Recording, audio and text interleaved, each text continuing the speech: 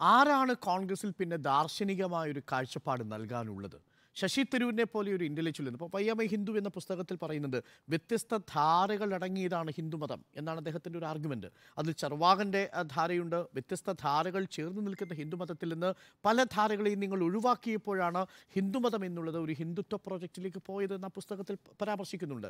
അതിനുള്ള ഏറ്റവും നല്ല ഉദാഹരണമായിരുന്നു ഈ രാമനെ പ്രതിഷ്ഠിക്കുന്നതിലൂടെ രാംലല്ലയെ പ്രതിഷ്ഠിക്കുന്നതിലൂടെ വയ്യമ്മ ഹിന്ദു എന്ന പുസ്തകത്തിൽ പറയുന്നത് പോലെ ഒരു തീസിസനാണ് യഥാർത്ഥത്തിൽ സംഭവിച്ചത്.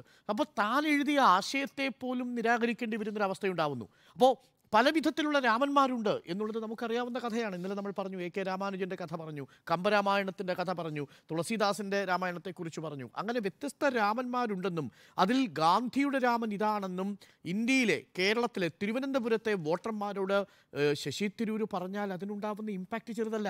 അപ്പോൾ അതൊരു റെഫേർഡ് പബ്ലിക് എന്നാണ് ഇതിനെ പറയുക. ഇങ്ങനെയുള്ള ആൾക്കാർ. അതായത് ഇത്തരം സമൂഹത്തെ ചലിപ്പിക്കാൻ ശേഷിയുള്ള ചിന്തിപ്പിക്കാൻ ശേഷിയുള്ള ആളുകളെ പറയുന്ന പേര് ഇന്റലക്ച്വൽ എലീറ്റ്സിനെ പറയുന്നത് റെഫേർഡ് പബ്ലിക് എന്നാണ്. അതെ അവരെ റെഫറൻസ് എടുത്തുകൊണ്ടാണ് പൊതുജനം ഒരു അഭിപ്രായം സ്വരൂപിക്കുക. അതാണ് അമിതാഭ് ബവിസ്കറൊക്കെ പറയുന്നത്. അപ്പോൾ ശശി തരൂർ ഒരു റെഫേർഡ് പബ്ലിക്കിൽപ്പെട്ടിരിക്കുന്ന ആളാണ്.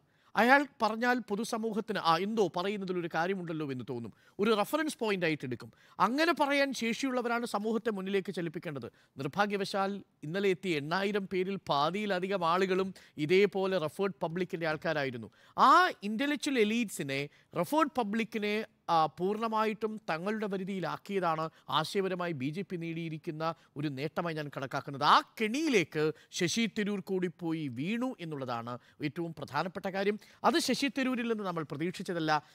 രാഷ്ട്രീയ നേതാക്കൾക്ക് സമൂഹത്തെ ന് വിദ്യാഭ്യാസം നൽകാനുള്ളൊരു ഉത്തരവാദിത്വമുണ്ട്.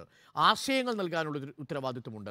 ആ ആശയങ്ങൾ നൽകുന്ന ഉത്തരവാദിത്വത്തിൽ നിന്ന് വളരെ എളുപ്പം കൈയൊഴിഞ്ഞാണ് ബി ജെ പി ക്യാമ്പിലേക്ക് ശശി തരൂരും പോയി നിൽക്കുന്നത്. ആശയപരമായി ബി ജെ പിയും ശശി തരൂരും തമ്മിൽ വ്യത്യാസമേ ഇല്ലാതായിരിക്കുന്നു. ആർ എസ് എസ് വിജയിക്കുന്നു. ആർ എസ് എസ് വിജയിക്കുന്നു. അതിനപ്പുറത്ത്